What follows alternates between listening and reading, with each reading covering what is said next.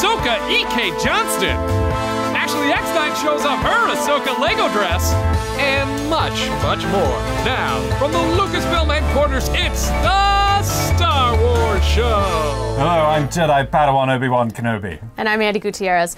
Welcome to a haunted episode of the Star Wars Show. Do you mean haunted because the set has a couple of Star Wars jack-o'-lanterns on it, or That and legend has it the ghost of the copy machine that used to live here has returned. Yeah, you got papers and ectoplasm everywhere. Ugh, I mean, he's a ghost. We took his home. And what else is he supposed to do? It's a good point, actually. In case you missed it, late last week, Lucasfilm officially announced that Donald Glover would be playing Lando Calrissian in the untitled Han Solo standalone film. Glover joins Alden Ehrenreich, who is playing Han Solo in the 2018 release, directed by 21 Jump Street and Lego Movie alums Phil Lord and Christopher Miller. In a joint statement, Lord and Miller said, We're so lucky to have an artist as talented as Donald join us. These are big shoes to fill and an even bigger cape. And this one fits him perfectly, which will save us money on alterations. Also, we'd like to publicly apologize to Donald for ruining his Comic Con forever. I think this is an inspired casting choice. Yeah, and Yeah, us too. thanks, haunted copy machine. Yeah. In book news, we here at the Star Wars Show would like to send out a huge congratulations to E.K. Johnston, whose Star Wars novel Ahsoka hit number one on the New York Times bestseller list this past week in the young adult category. Finally, a series of Rogue One standees will soon start appearing in 100 selected IMAX theaters across the country. The standees feature the cast bathed in schematics featuring messages hidden in Aurebesh text. And if you take a picture of yourself in front of the standee, you can win a trip to LA for a Rogue One screening at IMAX headquarters. Just be sure to upload your picture to Twitter using the hashtag RogueIMAXSweeps for a chance to win. For more details and rules, check out this link. And for more breaking Star Wars news from across the galaxy, oh, this again. Check out StarWars.com. My name is Nathan Sawaya. We're here in my art studio in Los Angeles where I have over 5 million Lego bricks, all sorted by shape and color, because I'm an artist that works with Lego to create all of my sculptures. There's something special about Star Wars and Lego. I mean, they are both universally loved, and I think that's why they work so well together. I don't think there's anything in the Star Wars universe that cannot be built out of Lego. I think that's the great thing is that you can create anything you can imagine. I was speaking with Ashley Eckstein about her upcoming fashion show, and we just sparked this idea of, well, what if we could build a dress out of Lego for you to wear? We revealed the dress at Comic Con at the Her Universe fashion show, and when she walked on stage, the crowd went crazy.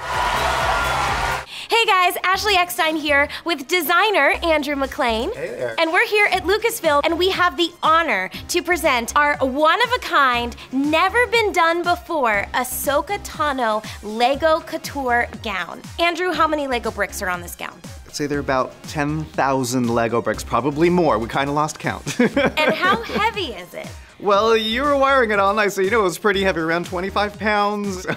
Well, this is the first time Lego has ever been able to walk down a runway. Ahsoka Tano Star Wars Lego Couture here at Lucasfilm.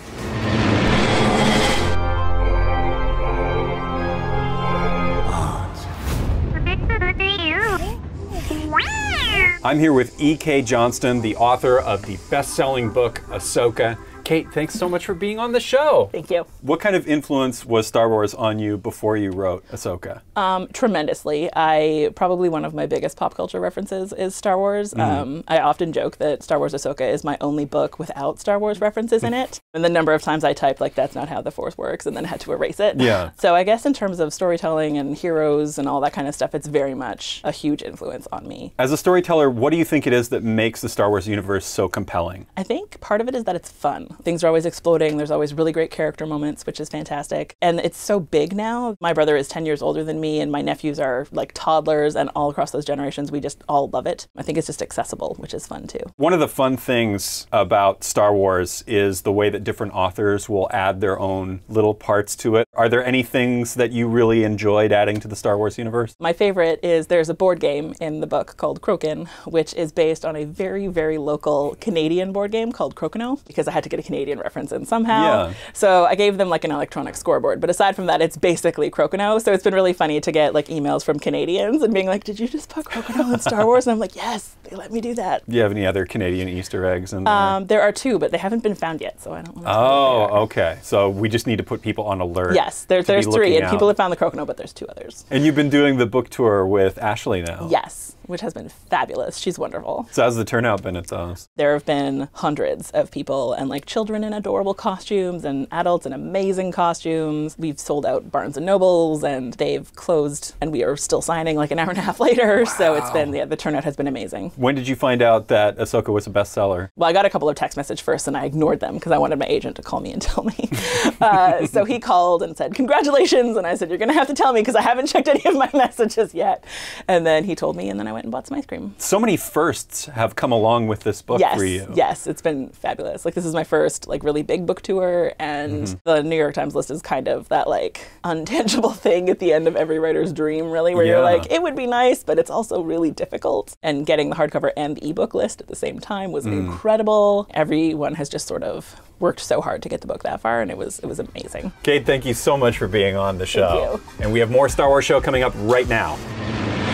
Last week, we asked you to share some of your favorite Star Wars concept art with us, and you sent a ton of inspiring examples like Palpatine's unused lava lair from Return of the Jedi. And Ralph McQuarrie's original Vader and Luke duel, which had P.K. Sullivan stating, I've always loved this piece. It's so kinetic and Vader is incredibly menacing. It's Art Deco meets Westerns. And finally, Lee Gordon DeMarbre spoke for all of us here when he said the funnest stuff to notice is how old Ralph designs are showing up in Rebels. Oh! Oh, hey, look who it is. Wow, Oh, and he wore a costume. Cute. And we want to see your Star Wars Halloween stuff. Send us your carved pumpkins, your costumes, anything you did this year that was spooky in Star Wars. We want to see it. Send it using the hashtag Spooky Star Wars, and we will feature our favorites here next week. I have something to say. Oh, we're still doing this bit. Okay, what is it? Be sure to check out the Star Wars After Show presented by Verizon, where Andi, along with a panel of Lucasfilm employees, break down all the happenings in this week's episode of the Star Wars Show. Watch it this Thursday and every Thursday on YouTube.com slash Verizon. to the Nether region I go. Oh, they really phoned in the special effects this week. Well, everyone who usually does our effects is working on a movie or something. That's fair. Rogue One, a Star Wars story, only in theaters December 16th.